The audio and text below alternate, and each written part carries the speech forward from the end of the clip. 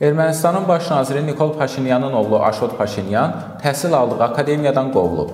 Unikal erməni çivlərinə istinadən xəbər verir ki, Ermənistanın Dövlət İncəsənət Akademiyasında oxuyan Aşot Paşinyan dərslərdə iştirak etmədiyi üçün akademiyadan xaric edilib.